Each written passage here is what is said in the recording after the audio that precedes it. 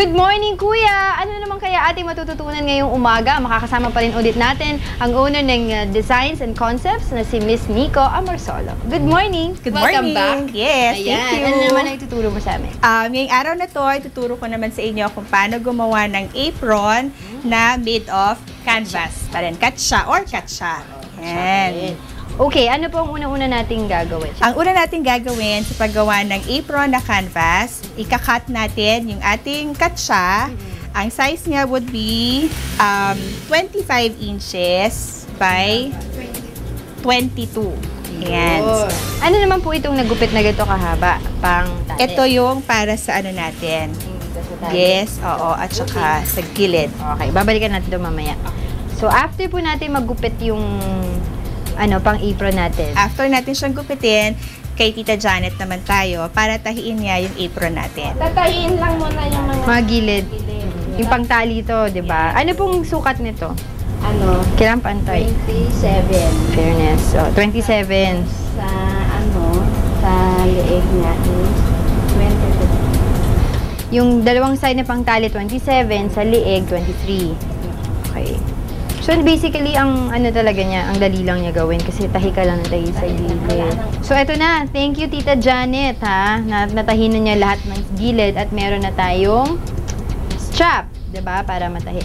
So, ngayon, design naman. Yan, design naman. Punta tayo dun sa printing area. Okay, let's go.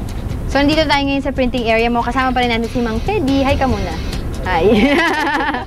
ako gagawa, turuan mo ako ah. Yung silk screen. So, ganun-ganun lang yan. Tama ba? Apo. Galing. Oh, in fairness.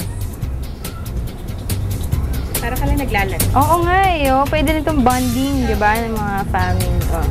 Tapos ilang minutes ulit yung pagpatuyo natin? 5-10 minutes. 5 to 10 minutes, okay na siya. Especially kung ma- masikat ang araw, mabilis. Ayun! Oh! He's the cook or you're not eating. Ayan.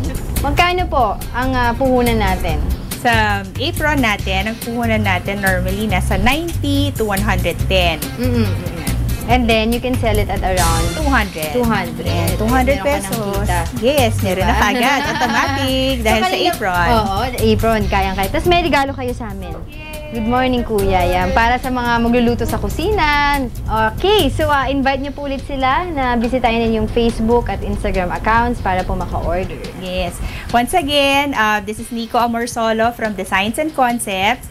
And uh, you may contact us through um, our number 0917-803-0805 or you may follow us on Instagram at Designs and Concepts or like us on Facebook at Designs and Concepts number 1.